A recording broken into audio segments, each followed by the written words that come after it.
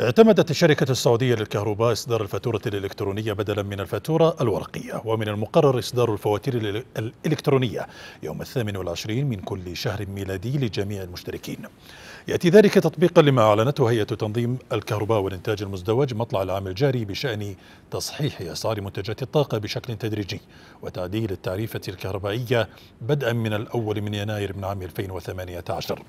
وأوضحت الهيئة أن هذه الخطوة تهدف إلى رفع الكفاءة الاقتصادية ومساهمة القطاعات غير النفطية كمحرك تنموي اقتصادي مستدام وترشيد استهلاك الموارد الطبيعية واستدامتها للأجيال القادمة.